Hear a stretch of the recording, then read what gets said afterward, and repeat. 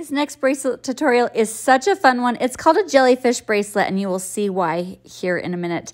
I am cutting out a five inch circle out of cardboard and then I'm cutting eight notches that are around the cardboard and then a hole in the center. I am using yarn for this, but you can use embroidery floss. You're gonna have seven strands of it and then you're gonna knot it and shove it down that hole.